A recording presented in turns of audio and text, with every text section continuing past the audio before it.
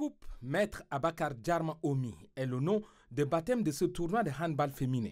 Un nom qui n'est pas donné au hasard, car ce tournoi intersaison de handball féminin est parrainé par Maître Abakar Djarma Omi, le ministre de la Jeunesse, des Sports et de la Promotion de l'Entrepreneuriat, qui a fait également le déplacement du terrain de l'Institut national de la jeunesse et des sports INJS pour assister à l'ouverture de ce tournoi. Six clubs de la capitale prennent part à ce tournoi. Comme on a arrêté avec le championnat presque trois mois, euh, c'est un peu difficile.